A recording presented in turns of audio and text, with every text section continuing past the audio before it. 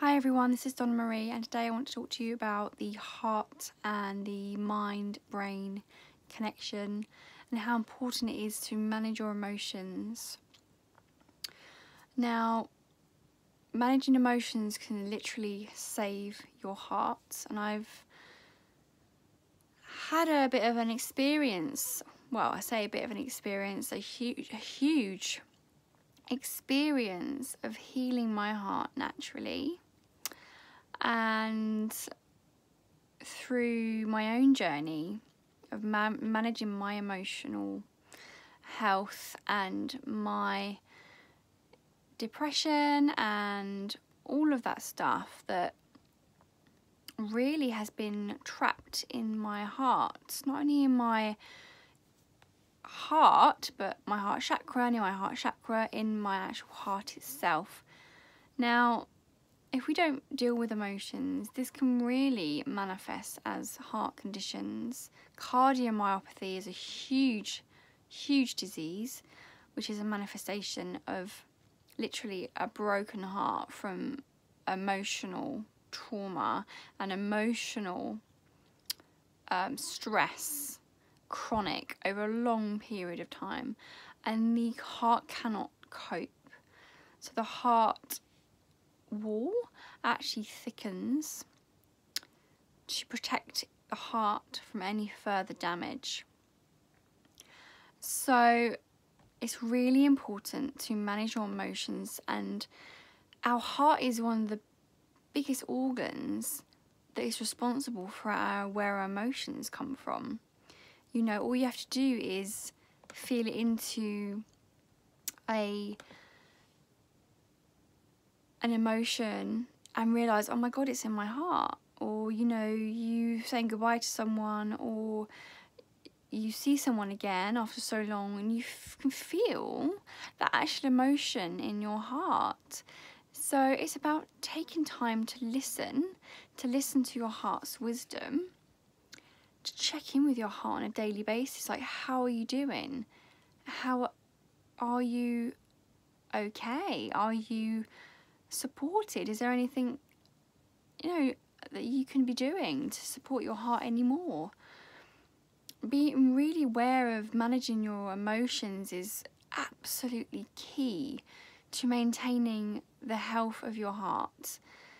The electromagnetic field of the heart is huger, much more expansive than the electromagnetic field of our brain.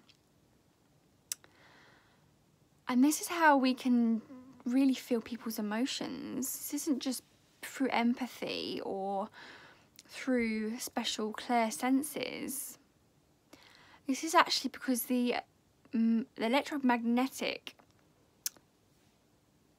resonance and field of the heart is so huge that we can pick up and we can understand how that person's feeling and what's going on. Now, for me, I've been able to really connect with people on an empathic level through my own journey and knowing to listen to the heart because the heart knows best and it does. There's this connection between the heart and the brain. It's the heart brain matrix and it's very much connected and we can heal our mind and we can heal our negative thoughts, our programming, our patterns if we listen to our heart. And vice versa we can heal our heart if we reprogram and we and we reframe the mind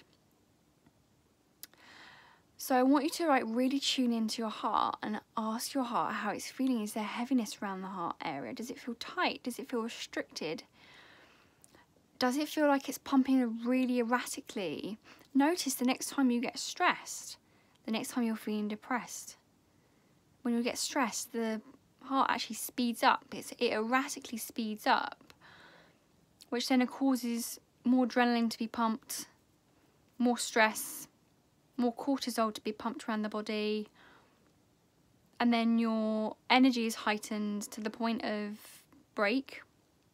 We get highly frustrated, we get very trapped, we feel very stuck, and then this manifests in our heart if we don't deal with it. So if this happens every day over a long period of time, like chronically, like every day you're getting stressed, every day you feel depressed, every day you feel anxious, your heart will pump and pump and pump and and the more anxious you get, the faster your heart will pump. the more depressed and low you get, the less the heart will pump. It slows down a lot. And this could just manifest as like lethargy, tiredness, exhaustion, because we're not getting enough blood around our body. We're not getting enough blood pumping around, enough endorphins from pumping around, cortisol pumping around, adrenaline, all those things actually can really be good for us when we need it. So it works both ways. And depression works with not having enough endorphins, not having enough, having too much cortisol, having too much adrenaline. Sorry, not enough adrenaline. And anxiety works and it affects the body by having far too much adrenaline, far too much cortisol, and pretty much next to nothing endorphin wise. So, it's really important to listen to your heartbeat, and I really invite you to do this. Listen to your heartbeat the next time that you are stressed, you're anxious, or you're frustrated. Because remember, our body has memory. We are 70% water. The thoughts you feel, the feelings you feel, your beliefs, your past experiences, programs, not only the water memory in your body, because water, it's been confirmed by scientists that water contains memory.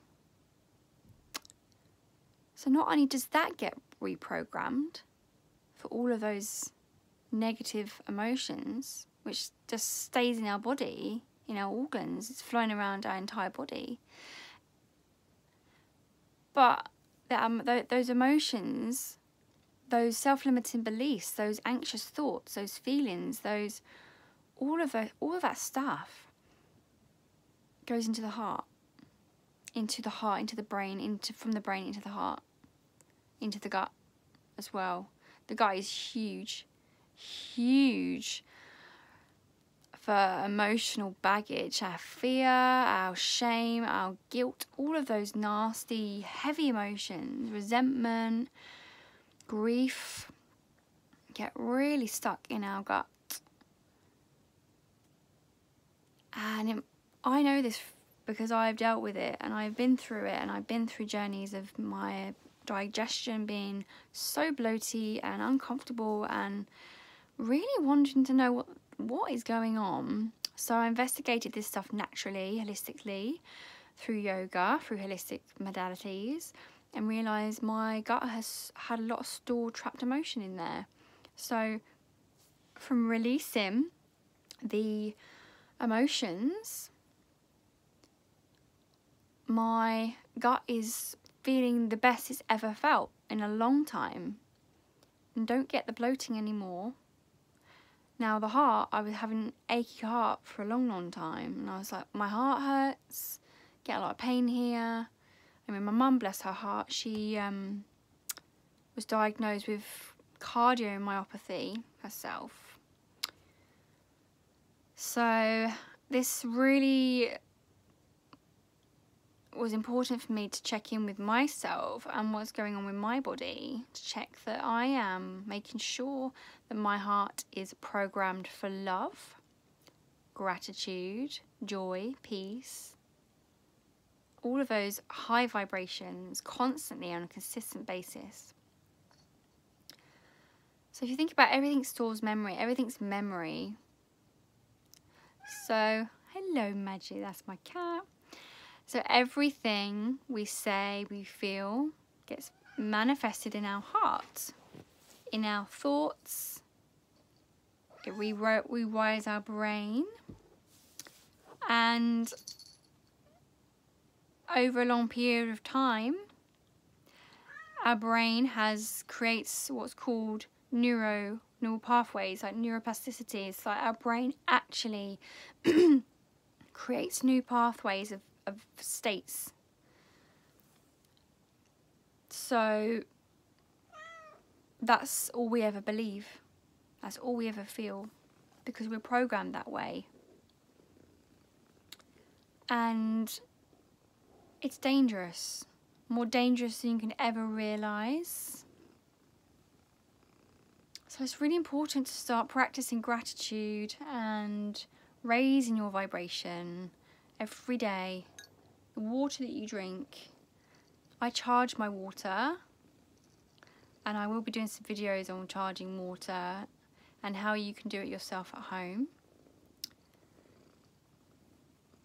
Because we don't want to be walking around with fear and all those low vibrations from stress. It just makes us feel very poorly and it can lead into a chronic heart disease. It's so serious. We don't get told this stuff.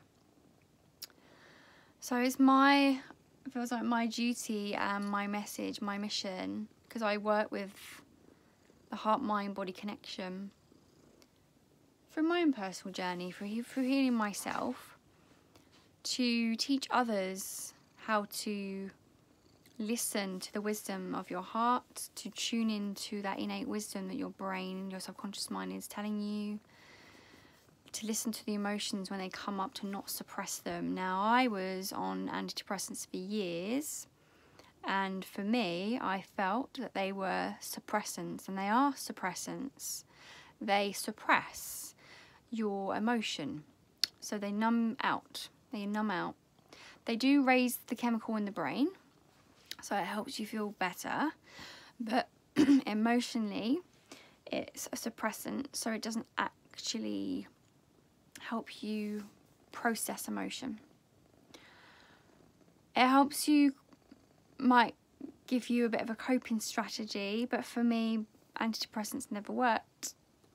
And nor does alcohol, nor does drinking, nor does binge watching TV, nor does disassociative behaviours such as distracting yourself with so many jobs on that you just don't have the time to, to even look at yourself.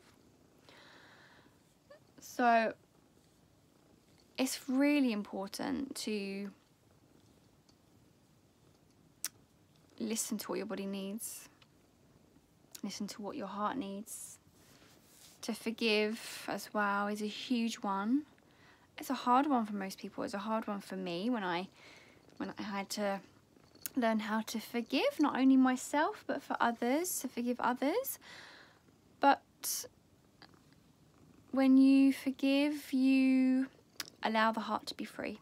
If you don't forgive, you allow the heart to hard to harden. You allow the heart to harden. It literally closes down. It literally closes in. Which is the scary part. So when we practice forgiveness, look at this cat, look at this cat.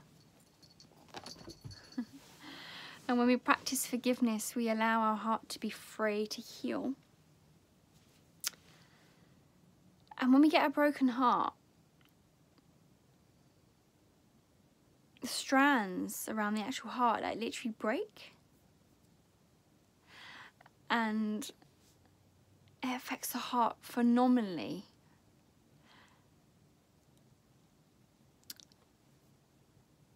Which is scary.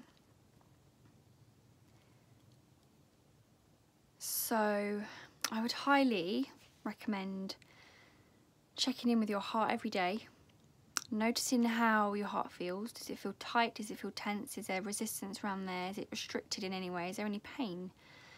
And just being aware of what your heart is trying to tell you because your heart will tell you what's right. You know, you listen to the heart, it will be always be the right answer. Most people tend to listen to the logical mind, the ego, which gets us in a lot of trouble and it can be quite destructive. And unforgiving at times. We tend to do logic, especially men, they, they tend to do a lot of logical thinking these days, and you know, men's mental health is sky high, more so than women, because they do not listen to themselves. Mental health is phenomenal in men because they don't feel they can talk about it. They don't feel they can share their story or share or express how they feel because they're a man. And unfortunately, conditioning has led men to think that they have to be this protector and this the bread the breadwinner and all those things. But it doesn't do men any favour. So I love working with men and I love teaching men how to heal themselves naturally. And it's one of my missions, one of my visions to support men through mental health, through traumas, to help them release and let go of their emotions that are holding them back. And not only help people on a physical level, on a mental level as well, emotional level, spiritually as well. Because if you can heal internally from your heart, you can heal anything. You can heal your your whole life if you heal your heart. And you can literally transform your whole life into something incredible and amazing. So just listen. Listen. We're not told to listen to our bodies in this modern world, this chaotic world. We're told to do everything by the book. We're told to go to the doctors when this thing happens and they can't really give you support anyway because they're so busy. And don't get me wrong, there's some amazing doctors out there. There really are. There really are. But there's a lot of doctors out there that can't provide the support because there's too many people. There's too many people to be seen. They don't have the time. They don't have the time to connect with clients, you know, or patients. So and healing is never just straightforward, it's not a quick fix. It's very much a journey. So, my work that I offer is self empowerment and transformation.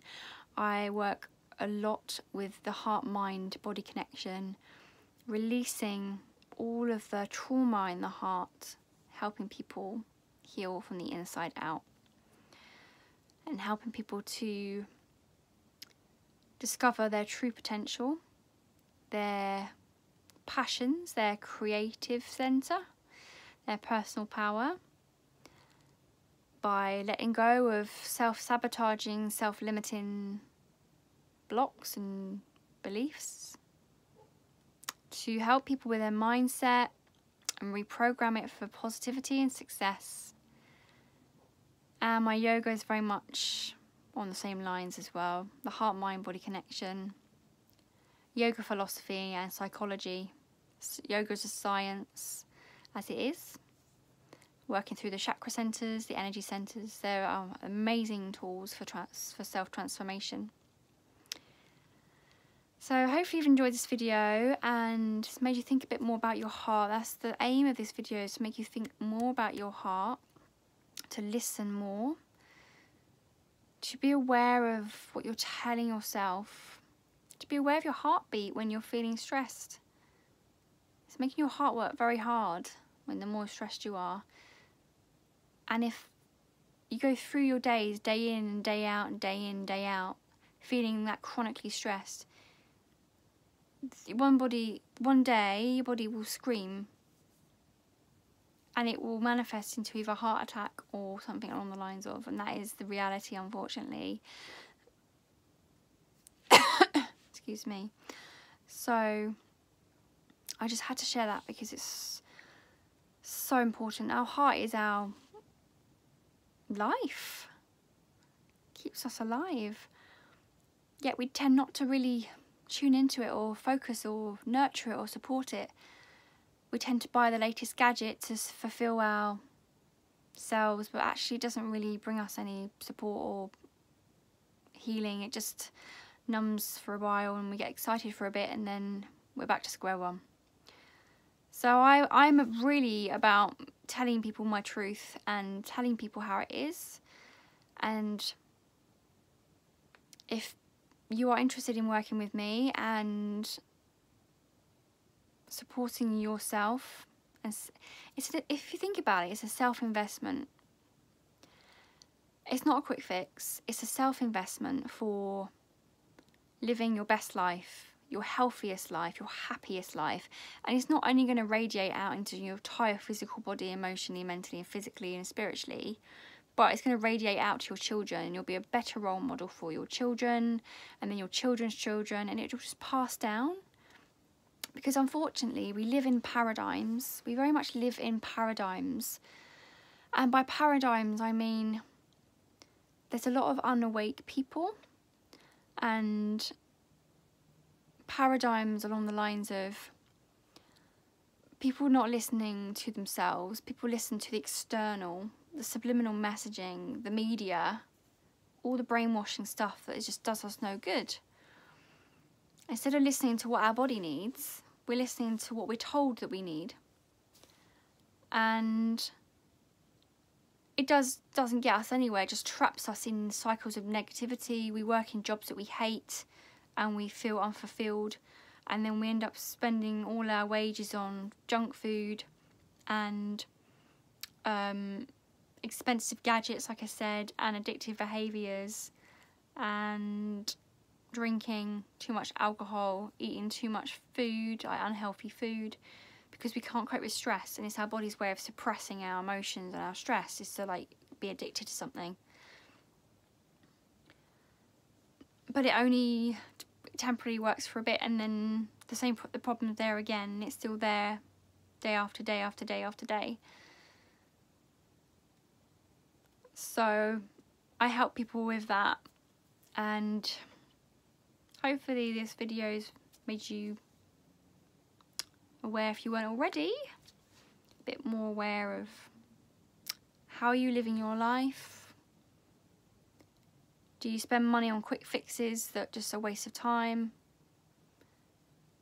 Do you spend loads and loads of money on just making yourself externally look good and feel good, but internally you're just broken? Do you feel that you are just unsupported or you're not supporting yourself, you can't support yourself because you're so overwhelmed and exhausted and tired and fed up because you have nothing to give because you've already given it all anyway? So that's those are the the type of people that I tend to work with and I help people with their their struggles, their pains, their frustrations. I really love working and I predominantly work with um, 25 to 30 year olds who are going through a real tough time emotionally, with anxiety, with depression, with fear and lack of confidence, lack of self-love, self-worth. And I help I help them by coaching them into self-empowerment with all my healing modalities. But I do work with other people as well. I don't just work with that age of people, but that's my predominantly that is the area that's the age gap that I that I work with. So remember, if you heal your heart, you can heal your life. Listen to your heartbeat. Listen to your heart's messages. Talk to your heart, saying what needs to be heard. If it's if it's feeling tight, here just underneath, if it's feeling tight or restricted in any way, then you need to ask whether that's yours, because it might be someone else's because we get energetically entangled with everyone else's stress and worries and fear. We're all energetic beings. We are all entangled with everyone else. So the first thing to do is ask, is that mine? And if it isn't, then you say, I release this back to origin with consciousness attached. And if it's still there, then generally down to a bit of unworthiness and a bit of trapped trauma there. And that's why I help people release that, that, that stuck stuff that's in our bodies. So hopefully this video has helped you and if you haven't subscribed yet to my YouTube channel then please do. And if you know anyone that could really benefit from my YouTube videos then please share my YouTube channel with them. Again I love hearing from you. Please comment below for any any feedback. I just love hearing back from people. So have a great rest of your day and I'll speak to you soon.